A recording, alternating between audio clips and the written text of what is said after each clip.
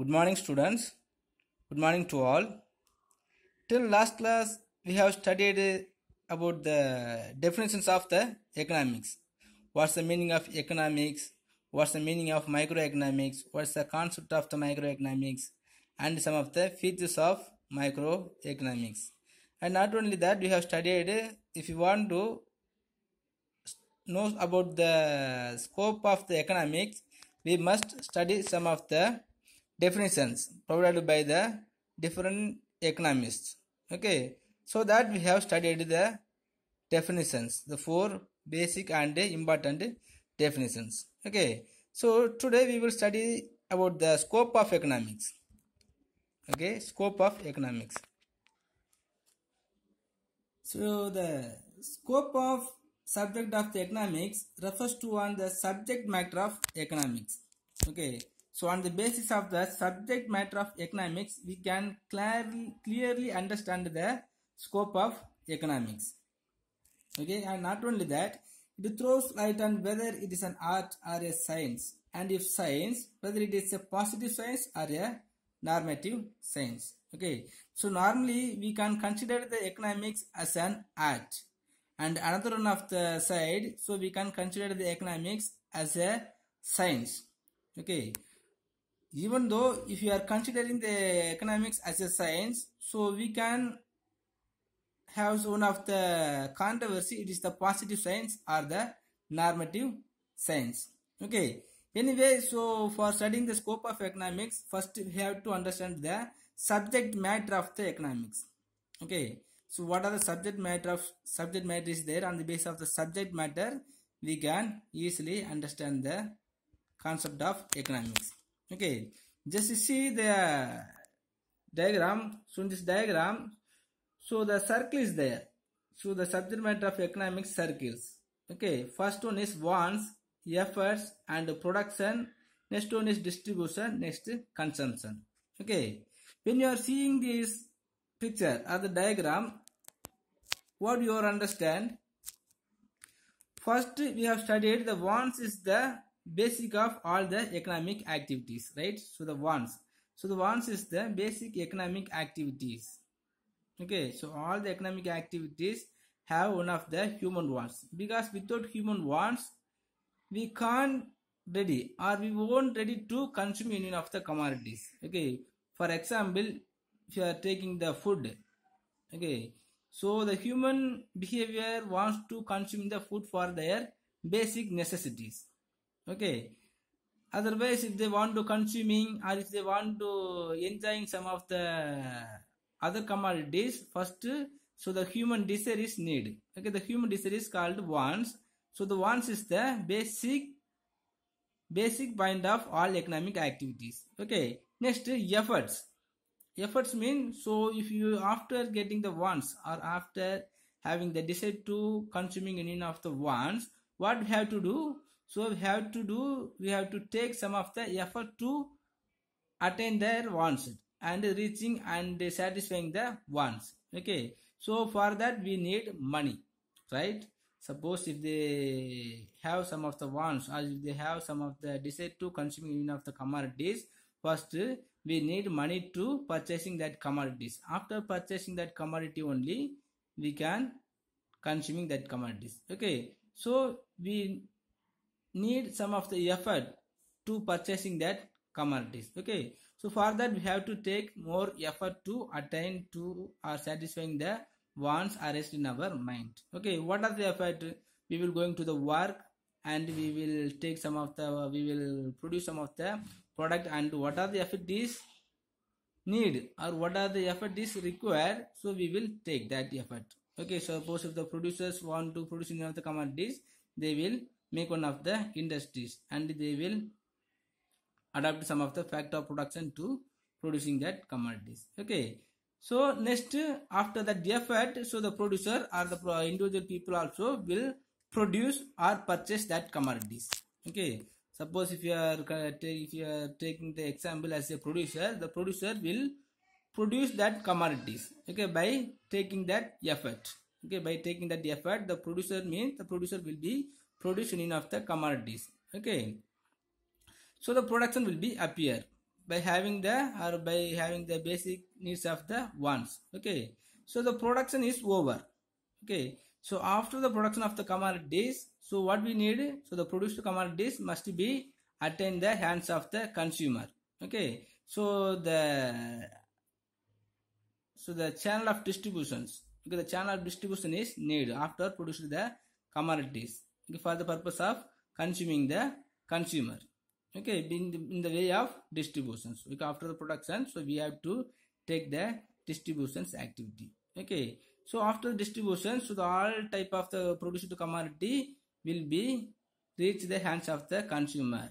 After that the consumer will be consume that commodity. Okay after consuming that commodities he will get some of the satisfaction. Okay next one wants is reached and one the wants of the one of the wants is attained their satisfaction and one wants also have been completed. Okay. So after that the next one will be arises. Okay. If you attain if you satisfied one of the ones arised in our mind is consumed or dissatisfied okay. After the satisfied another ones will be appear. Okay. So in this way so the cyclical will be circle. Okay. So by the way of the circle only so the economic activity will be moving. Okay. So not only that by seeing this circle so what are the another side is there? Or what are the subject matter is also consisting mean? So the economics focus on the behavior and interaction among the economic agents. Okay. Economics focuses on the behavior and interaction among economic agents and the individuals and the groups belonging to the economic systems. The agents mean so we can consider as a channel of distributions. And the individual people and some of the groups belonging on economic system means to the organization or the public or the private. Okay so the economic focus on the behavior and interaction among the economic agents or individuals and how they will interlink with each one another. Okay because the wants is arised from the individual peoples. Okay. But the effort and production and the distribution is undertaken by the other organizations. Maybe the organization maybe the private or the public. Okay. Again the consumption is satisfied by the human beings. Okay. Where the wants was arised that wants is consumed by the consumer okay for that some of the three factors are the producers or the distributors or the channel of the distributions will be come to you need to fulfill the wants of consumer right? And not only that so it deals with the activities such as the consumption and productions of goods and services and the distributions of income among the factor of productions. Okay some of the economic activities such as the consumption and the productions okay? The consumption is made by the consumer. The production is produced by the producers okay? So on the basis of the wants only the producers will be producing enough the commodity and for whom? So the same consumers okay? So here some of the activities the consumption and production the goods and services is available or it will be arranged between the producers and the consumers. The wants is arranged by the consumer. The product is produced by the producers. Again the produced produced commodity is consumed by the consumers. Okay. Some of the interlink between the consumer and the producers will be appear or it will be there. Okay. Not only that so some of the channel of distributions and the efforts are taken by the producer to production enough the commodities by having the factor of productions. Okay so when they are adapting the factor of production to produce production enough the commodities he take one of the effort that is the distribution of income among the factor of productions. The factor of productions mean the land labor capital and organizations right? So the four factors of production is involved to produce production of the commodities by the producers okay so after having the profit after earning the profit by the producers the producers must be given the remuneration to their factor of productions in the form of any one of the way. Okay. So the distribution of income also will be appear in this factor of productions by the producers. Right? And not only that the economics study of economics also focuses are made by or the depending upon the rational human behavior. Okay?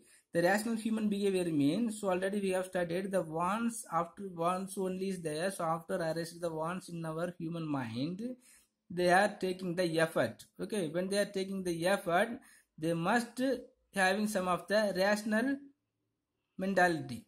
Okay? Or the rational knowledge. Okay? So the economic activities also will be depending upon by the rational behavior of the consumer or the rational behavior of the individual people. Rational behavior mean some of the intellectual peoples. Okay so when we are going to spend some amount of the money to consuming any of the commodities so the consumer must be expecting the optimum level satisfactions. Okay so the, all the people should not spend more money to consuming any of the commodities. Okay for example if you want to decide to consuming any of the commodity and you are ready to spend some amount of the money to consume that commodity mean you will not spend more amount to consuming that commodities. Okay if you want to get decide to consuming one cup of tea you will ready to give that 10 rupees to consume that cup of tea right? Okay because of that you will not ready to consume the cup of tea by spending the thousand rupees okay. So the rationalist people only will be spending some amount of the money is equalized to the worth of the product. Okay. So the economic activities also studied by the rational human behavior. Right? The next point the economic studies the ways in which people use available resources to satisfy their multiplicity of wants. Okay so the economics also studied the how the individual peoples and the organizations are going to use the natural resources or the available resources to satisfy their multiplicity of wants. Okay for example the land is there. Okay suppose some area some some some acre of the lands are available in our nations. Okay but the how the people or the public or the individual persons are going to use that land okay is the land is going to use for producing the cultivate or producing or uh, building any of the industries is taken by the rationalized peoples. Okay so the economics also studies how the natural resources are going to satisfy the multiplicity of wants and the use of the available resources to satisfy their multiplicity of wants okay so in this way we have to take some of the effort to protect the natural resources and if we have to know the value of the natural resources okay? And we must know about the way of using the natural resources okay the availability resources okay? So because of having the availability of more natural resources we should not use all the resources to producing them particular amount of the commodities. Okay? So in a proper way or in an optimum way we have to use the natural resources for satisfying the multiplicity of wants okay? So in this way so the second definition also is be consisting or concluding. Okay? Because so already we have studied in our second definition. So the economics is the study of choice. Because so the multi when we have the multiplicity of wants we have to use the available resources for which one is most important. Okay. And next in the study of the uh, scope of economics we have to consider the scarcity the problem of a scarcity. The scarcity is a problem indicating the gap between what people want and what they are able to get. Okay so on the basis of human wants all the persons all the people will get their wants in any of the way.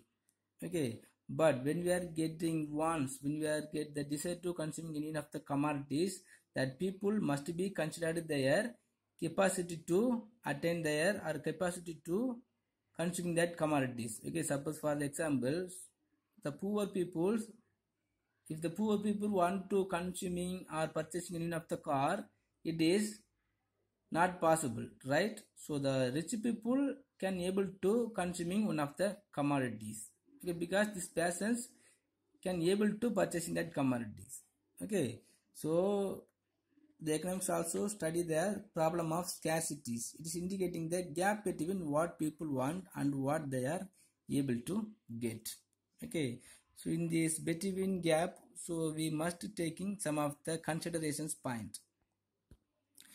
In this point so the scarcity can be eliminated either by limiting the human wants or by increasing the supply of goods.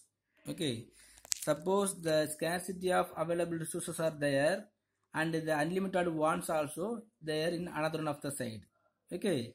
But in these two factor we must remove. We must eliminate any one of the factors. Okay.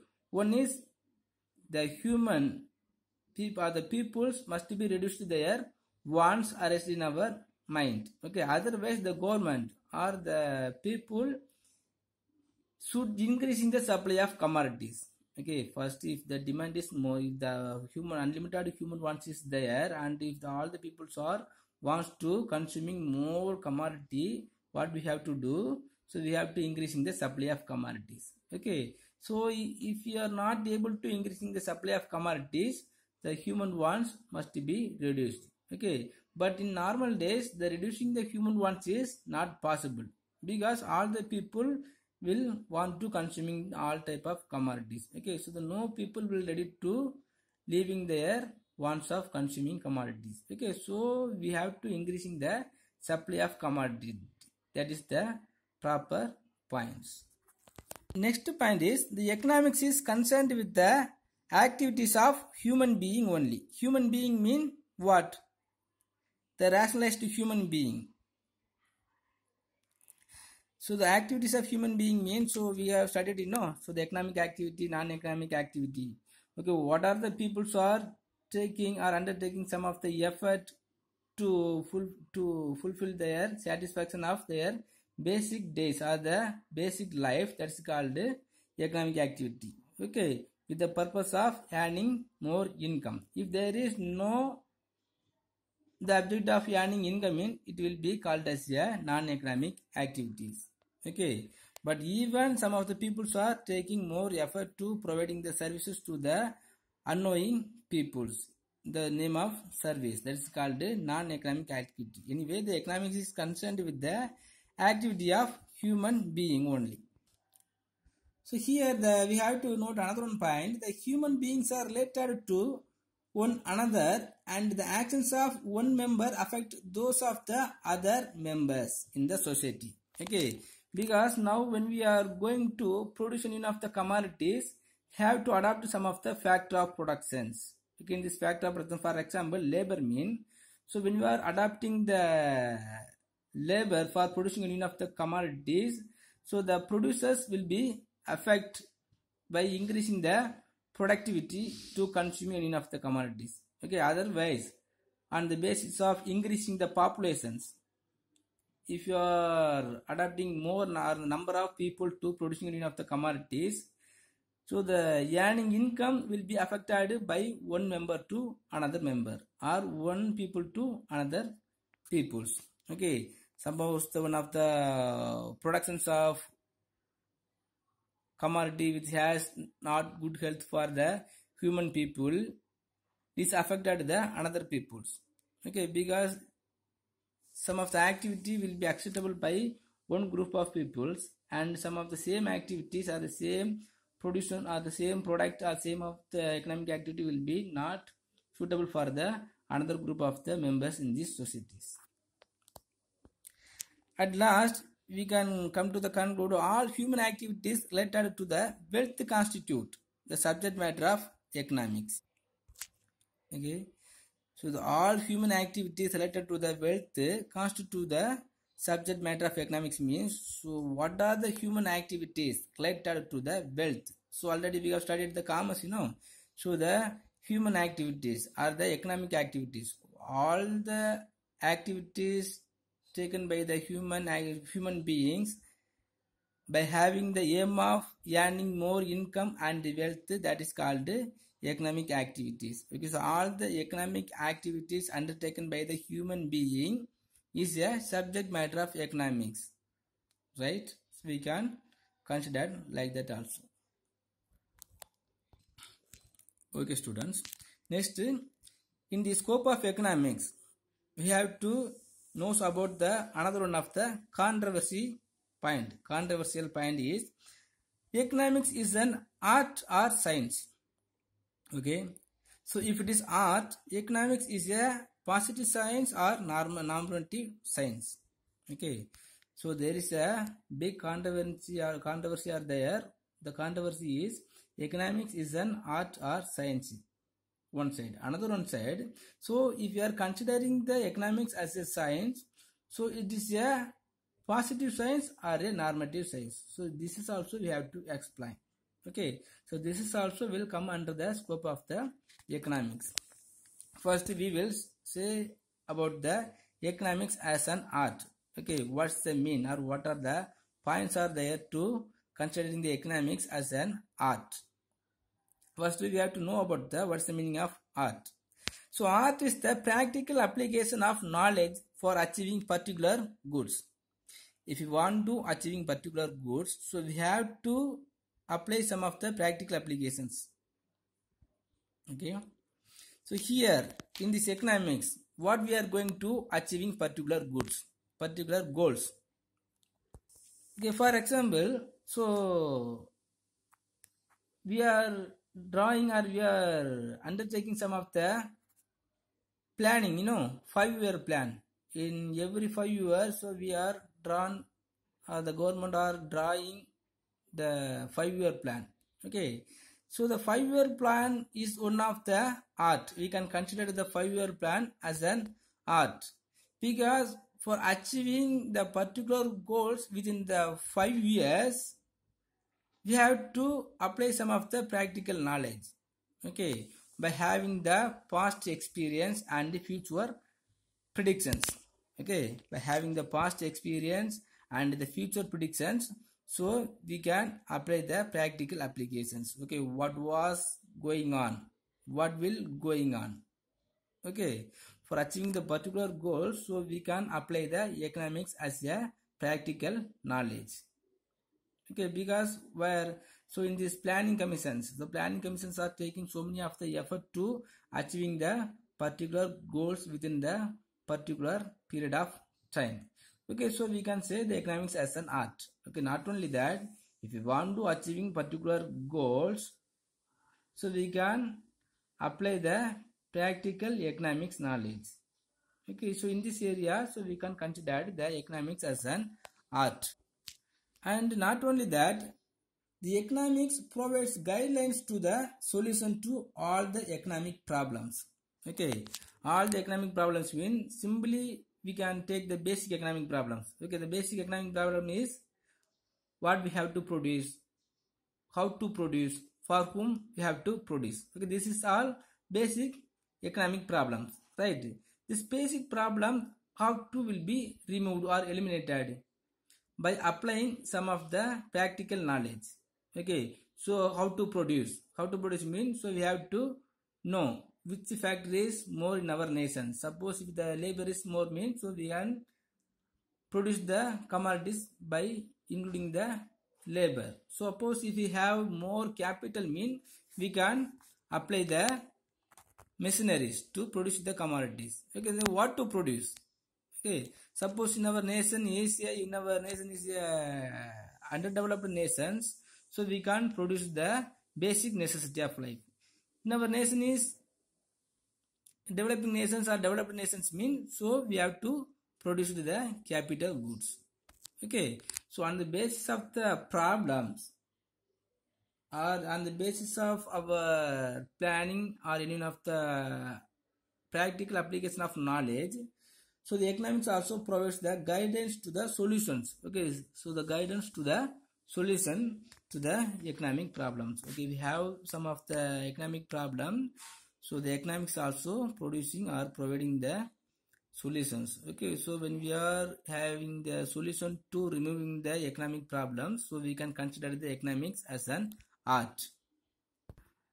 And the, some of the economists, A.C. Pigou and Alfred Marshall and others also regarding economics as an art.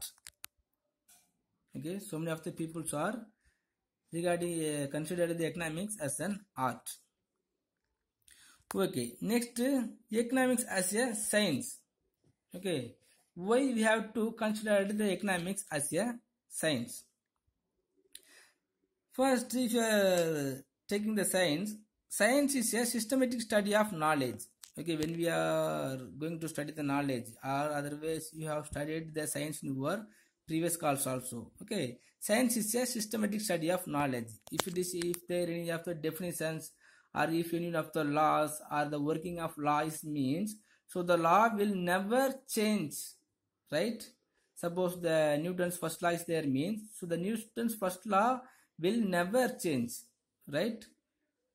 Like that, in our economics also, some of the laws will never change. Okay, never change mean for example, the law of demand is there. Uh, Still we not studied the law of demand, but I am telling. So law of demand mean when the price is when the demand is increased, the price also will be increased. When the demand is decreased, price also will be decreased. Okay, so this is also one of the law in our economics. Okay, this law will not will never change except some of the assumptions or some of the circumstances. Okay, like that. So we are we can consider the economics as a science. And not only that, so when we are studying the science, it's a systematic study of knowledge. So all its relevant facts are collected, classified, and analyzed with the scale of measurement. Okay. So when you are studying the science or law of science, so the all facts are collected, classified, and analyzed with the scale of measurement. Okay, like that. So when we are going to study some of the laws or some of the theories in economics, we have to need of collected, classified, and analyzed the samples are some of the data with the proper measurement. Okay. So not only that the science develops the correlationship between the cause and the effect. Okay. The cause and the effect and the scientific laws derived the test through the experiment. Okay. So in this law the science develops the correlationship between the cause and the effect, and scientific laws derived or tested through the experiment. Okay, so like that in our economics also, some of the laws or some of the cause and effect will be there. Cause and effect mean so in the supply function, for the example, if you are taking the functions of supply, the price is the cause okay. When the supply is increased when the price is increased the supply also will be increased. Okay. When the price is increased when the price of the commodity is increased the supply of the commodities also will be increased. Okay. Here the price is cause. Okay. The increasing price is the cause but increasing sub increasing the supply is the effect. Okay. In economics so the supply functions are there. So we will study later. On the basis of the supply function when the price of the commodity is increased supply also will be increase okay. So the increasing the price is the cause. So the increasing the supply is the effect. Okay. So by using the data and the fact science develops the correlationship between the cause and the effect. Okay. Here also the economics also will be develops the correlationship between the cause and effect. Okay. So we can consider the economics as a science. Okay. And not only that so the in science also all the future predictions or the experiments are made by the scientists is accepted by the universally. Okay. Here in economics also so many of the laws and theories are accepted by the universals. Okay so this all the laws in economics also universally accepted. Okay next is the next class we can see if you are considering the economics as a positive science or normative science okay now it's enough. So if you have any doubt in our in this area just please ask me. Thank you